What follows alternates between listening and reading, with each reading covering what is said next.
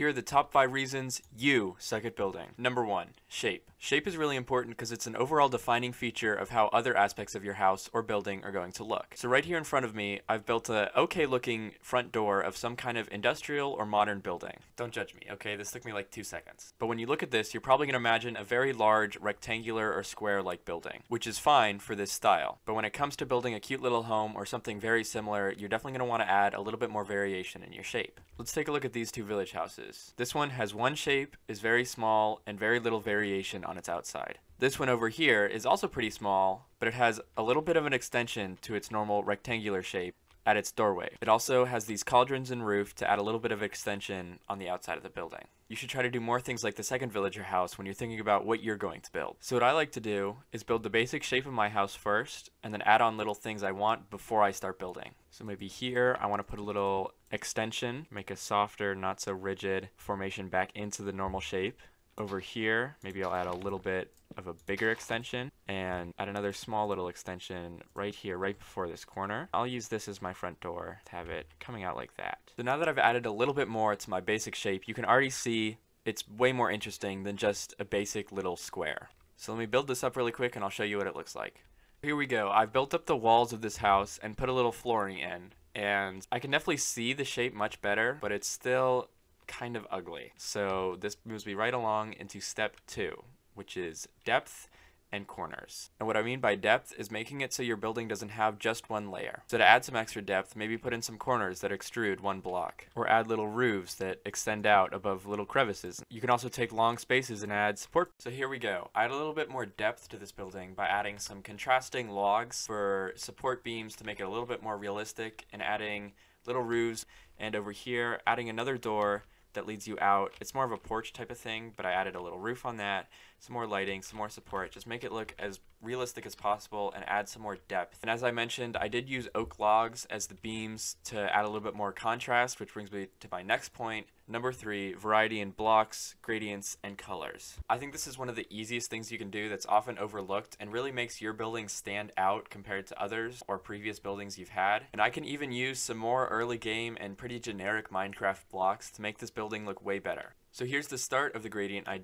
I'm doing. These blocks right here, these are the stripped birch logs. Personally, I really like strip logs. I think they they look great, but adding them with these planks, it looks it's a little bit too contrasting. So I'm going to add a little bit more of these stripped oak logs to hopefully make the gradient a little bit smoother. Alright, so I added some stripped oak logs and it definitely helped the gradient become a little bit more natural and added some block variation. It's a little bit easier to see on the inside here. You can see it kind of goes up from the planks to the stripped oak log to the stripped birch log.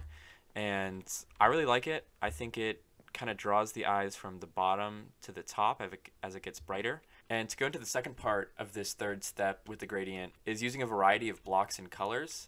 Really with the blocks, you can use the same color, just kind of a different shade and block. So you can see these two, they're pretty much the same color, but they're two different blocks, which really adds to the to the building and different textures, which really makes the build look more realistic and nice. But you don't have to use super similar colors when you're using a variety of colors. You can also use like super contrasting colors. So like if I bring you back over here, you see I have a white and a black, and they're common colors for more industrial builds but it still looks nice. Kind of have to know which colors to use, darker versus light, opposite colors on the color spectrum. Over here, these general browns, similar colors, but it's like a dark versus a light.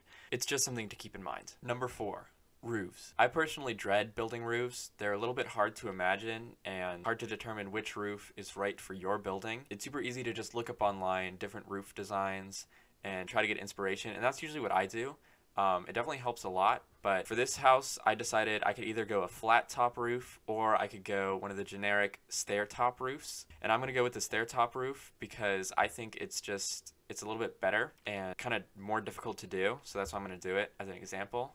And I've chosen to go with really dark colors because I was just talking about contrast with colors and I think it would be nice to add, after the gradient going up from dark to light, add a really dark top to kind of top it off. So I finally have the roof done. I think it looks pretty good, honestly. I wasn't sure how it was going to turn out. There are definitely things I could change to make it better. Overall, it's pretty good, so I can move on to the fifth and final thing on my list, the little details. This step is really just what ties everything together. It adds so much more life and vibrance to a building than just having something like this. Because this looks pretty good, I'll be honest. It looks pretty decent.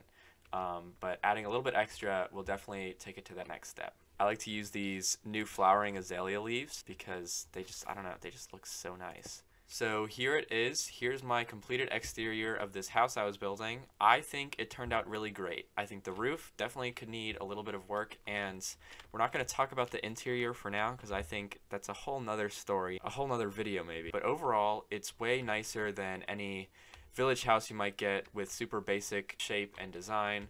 And it's just the little things that kind of make make a big difference when you're trying to build a good house. I also decided to use a whole bunch of the new blocks just to add a little bit of greenery. Adds a little bit more personality to the house. So there you have it. There are the five things you might be missing when you're building your house or building. Recap, you need a good shape, you need good depths and corners, you need a good variety of blocks, colors, and gradients, you need good roofs, and you need a lot of good little details when you're building something, make sure you take inspiration from real life things because in Minecraft, the more realistic you can make it, the better it looks. And I know that's kind of a little bit weird, especially for a block game, but if you can add like support beams and good roofs and you know things you'd probably see in real life houses and then a little flair of the Minecraft uniqueness. That's that's really what I think makes a good house. If you enjoyed this video, make sure you like and subscribe and let me know in the comments if you want me to do another video on the interior or what you overall think of the house and if I'm missing any things on my list. Have a wonderful day. Goodbye.